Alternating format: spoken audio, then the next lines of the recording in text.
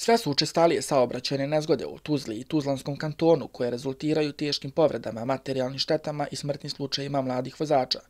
U velikoj mjeri one su rezultat neprilagođene brzine, ali i divljanja pojedinaca, čime se ukazuje na neophodnost izmene zakonske regulative, kao i na pojačane kontrole nadležnih institucija. Međutim, da sve učestalije saobraćene nezgode nisu produkt loše obuke i nastave instruktora autoškola, pojašnjava Emin Rakovac, šef ocijeka za saobraćaj i edukaciju pri Ministarstvu obrazovanja, nauke, kulture i sporta Tuzlanskog kantona. Trend porasta e, broja saobraćajnih nezgoda se ne može direktno povezati sa kvalitetom osposobljavanja, jer kandidat da bi položio vozački ispit mora e, zadovoljiti minimum znači ponašanja u saobraćaju, držanja ograničenja brzine i ostale elemente koji, koji su propisani samim činom polaganja ispita.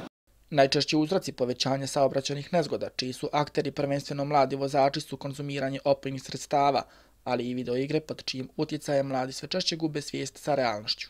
Ono što uzrokuje saobraćaj nezgoda i stradanja mladih ljudi su prebrza vožnja, vožnja pod utjecajem alkohola i droge i mislim da je tu e, zakazala komponenta e, cjelokupnog društva, odnosno odgoja iz porodice. Djeca odrastaju sa videoigricama koje u kojima se pozitivno gleda na mogućnost da kroz grad jurite brzinom od 300 km na sat. Ishodi saobraćanih nezgoda najčešće su kobni. Oni vode invalidnosti, materijalnim štetama, a neretko i smrtnom ishodu. Međutim, da bi se podigla svijest mladih vozača o posljedicama koje sa sobom nose saobraćene nezgode, neophodno je uključiti cjelokupnu zajednicu.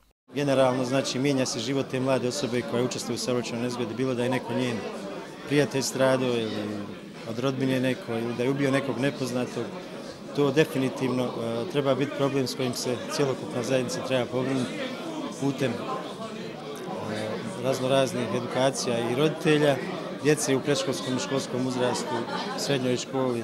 Kandidati koji se opredijele za polaganje vozačkih ispita u autoškole dolaze sa navršenih 18 godina kao formirane osobe, a predavačima i instruktorima teško je promijeniti njihove stečene navike.